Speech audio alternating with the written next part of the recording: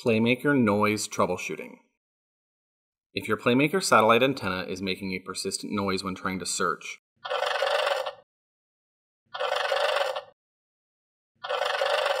this video will help you troubleshoot that issue. The main cause of this issue is insufficient power to the antenna. This can be caused by the coax cable, coach wiring, issues in the receiver, and in rare cases, issues with the antenna. To begin, make sure you are using no more than 50 feet of RG6 coax cable.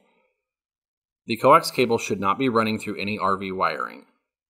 RV wiring can be unreliable when it comes to providing consistent power on the coax line. If you continue to experience the persistent noise after bypassing the coach wiring and you are using a coax cable less than 50 feet in length, remove the dome cover from the antenna. You will need a T20 Torx driver to remove the six screws holding the dome in place. With the dome cover removed, locate the amber light indicated here. If that light is steady, skip to the timecode on the screen. If the light is flickering, connect the antenna to the receiver using the factory provided 25 foot coax cable. While you may require a longer coax length to get a signal lock, we need to determine what is causing the current noise issue.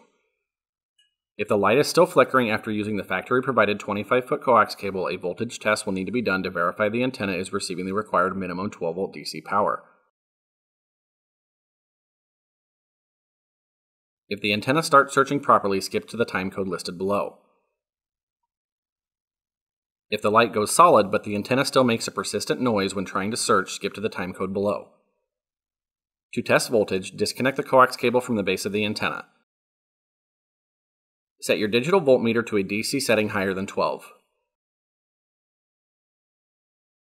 Touch the red probe of the meter to the center pin coming out of the coax cable and the black probe to the outside nut on the cable. If the voltage drops below 12 volt DC, skip to the timecode listed below. If the required minimum 12 volt DC is available on the coax cable but the light inside the dome is still flickering, the antenna would need to be replaced. If the light is steady and the antenna makes a persistent noise when trying to search, disconnect the coax cable. Manually rotate the antenna as far as it will go in a clockwise rotation. Then rotate the antenna as far as it will go in a counterclockwise rotation. Reconnect the coax cable and the antenna will search normally. If the antenna searches properly with a factory provided coax cable but you need a longer length of cable, you can purchase our cable extender kit, which includes a power inserter and 50 foot coax cable. Please call Winegard customer support at 800 288 8094 to order that kit. If sufficient voltage is not reaching the end of the coax cable, a voltage test out of the receiver is needed. Disconnect the coax cable from the back of the receiver. Insert a paperclip or safety pin into the center hole on the coax port of the receiver.